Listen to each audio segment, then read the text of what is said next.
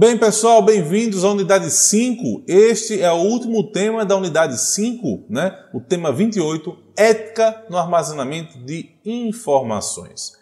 Vocês já viram que quando vocês estão se cadastrando no banco online, vocês estão ah, fazendo um e-mail, eles deixam bem claro aqui no Brasil, através da Lei 13.709 de 2018, a LGPD, né, a Lei Geral de Proteção de Dados, que seus dados vão ter um respaldo, vão ser guardados, não vão é, passar de um banco para outro, ou de um, de um local para outro, de uma empresa para outra. Por quê?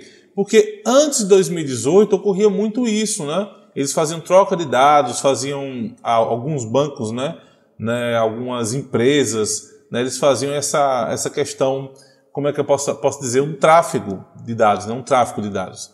E aí dados vazavam de uma empresa para outra, de informação para outra, sem esse livre consentimento, né? esse, essa, como que eu posso dizer, essa anuência né, do sujeito, da pessoa. Então as informações trafegavam de forma livre. Agora não. Né? Cada local tem um termo, até mesmo para você acessar um site, ele pergunta se aquele site vai acessar cookies, ou seja, seus comportamentos, informações de acesso, ou até para mostrar propagandas, enfim, para você, e você diz se aceita ou não aceita. Então é muito interessante essa Lei Geral de Proteção de Dados, porque ele hoje garante uma segurança para a pessoa física, né? E também para a pessoa jurídica, em especial as pessoas físicas.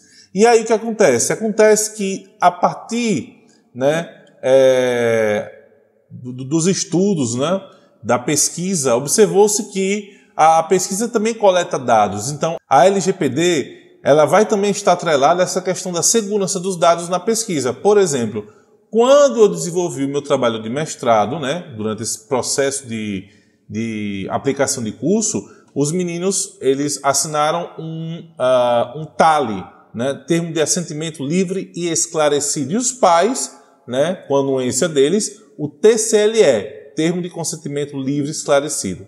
Primeiro os pais assinaram, autorizando os alunos a fazerem a pesquisa, a participarem da pesquisa, que foi o curso, e os alunos deram seu sim, né, deram sua anuência, deram seu aval, dizendo que queriam realmente participar do curso e sabiam todos, todas as informações que precisava a respeito do curso. Então, assim, por isso que eu falo muito, bato muito nessa tecla em relação ao Conselho de Ética e Pesquisa. Se você está desenvolvendo pesquisa com animais e seres humanos, e ou seres humanos, para ser mais específico, você tem que ter um TALE, né, um TCLE, perdão, primeiro, e depois um TALE, principalmente se você tiver menor. Né? Por exemplo, ah, o pai autorizou o aluno a fazer o curso, mas o aluno não está afim de fazer o curso. Então, não tem condições do pai autorizar com TCLE e o aluno falar que não concorda, por exemplo, porque vai ter que vir todas as noites para o curso, que foi o que ocorreu com os alunos. Então, assim, primeiro eu tive a anuência da escola, através de um termo de anuência. A escola falou, não, pode fazer a pesquisa aqui. Segundo, os pais, tivemos uma reunião com os pais, os pais assinaram, e aí eu deixei bem claro que não ia recolher informações pessoais nenhuma deles, esse vai.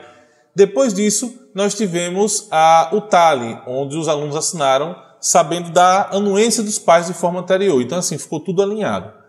Mas, professor, é... mas eu não posso pegar nenhuma informação? Não. Por exemplo, eu passei pela Plataforma Brasil, né, e pelo Conselho de Ética, que a Plataforma Brasil designou, né, ela apontou um comitê de ética e o Conselho de Ética, ou o Comitê de Ética, analisaram e falaram, por exemplo, que eu ia recolher RG e CPF.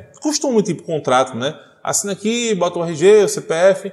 A Plataforma Brasil, através do Conselho de Ética e Pesquisa da Universidade Federal de Sergipe, falou: não, você não pode pegar esses dados. Então, informações que identificam o participante, informações de cunho sensíveis é, em relação à orientação sexual, em relação à raça, em relação a cunho político-religioso, né? em relação a cunho político, já falei, eu também partidário, né? Político partidário é a mesma coisa. Uh, eu não posso, não posso pegar essas informações privadas da pessoa.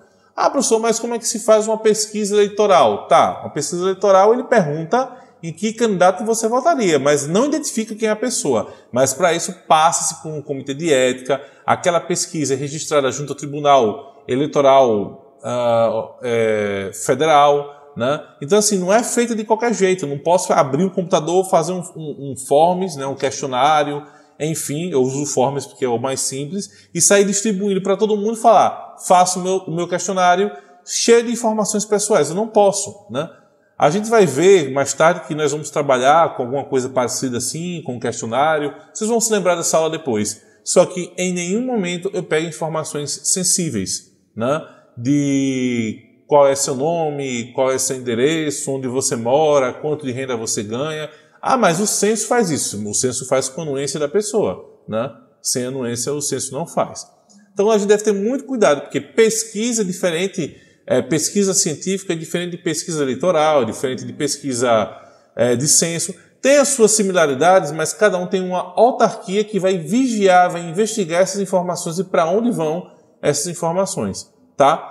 É, tanto que quando eu fiz a pesquisa, eu guardei todas as cópias do TCLE, o TALI, o termo de uso de imagem e a anuência também do diretor. Guardei tudinho e vai ficar guardada comigo até a finalização, o desfecho dessa pesquisa, por questões de segurança. Então, assim, enfim, então todo e qualquer trabalho ele deve ser regido por um comitê de ética ou por uma agência de fomento que fiscalize, né, que dê anuência se a pesquisa pode ser ou não pode ser desenvolvida. Assim a gente acaba a unidade número 5, né, armazenando informações, e acaba com o tema número 28, que é ética no armazenamento de informações. A gente já vai começar a utilizar informações na unidade número 6 e aguardo vocês lá. Até mais. Tchau, tchau.